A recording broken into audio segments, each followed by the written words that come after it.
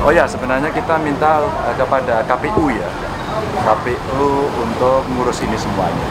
Nah, kalau kita melihat yang ada di Jawa Tengah, kemarin saya catat ada lumayan banyak begitu. Nah, kita akan memberikan santunan insya Allah besok pagi ada mereka sebagai sebuah penghormatan saja.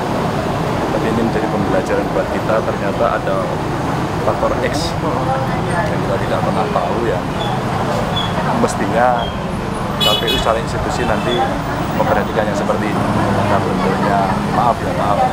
Tentu nyawa tidak bisa digantikan apa pun, tapi pakai insurance ya, terus kemudian uh, cover untuk masalah kesehatan dan sebagainya, sehingga uh, mereka yang sudah melaksanakan tugas luar biasa ini ada jaminan, sehingga ada ketenangan dalam mereka melaksanakan pekerjaan. Oh ini juga lima tahun sekali.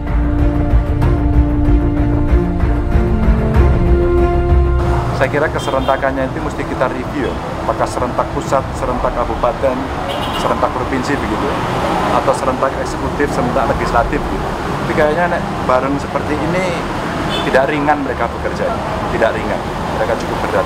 Makanya ini yang eh, kemarin juga kita waktu lapor ke Presiden kita juga diskusi soal ini dengan anggota DPR RI juga kita sudah diskusi soal ini kebetulan waktu itu saya juga sempat mengikuti lah pembahasan-pembahasan undang-undang paket politik seperti ini. Kita tidak menduga kalau kemudian serumit ini ya. serumit ini dan kemudian membutuhkan tenaga pikiran waktu yang luar biasa sehingga tekanannya luar biasa. Mungkin beliau kayak Pak Bambang Sabton almarhum ini punya riwayat-riwayat eh, sakit seperti liver dan sebagainya.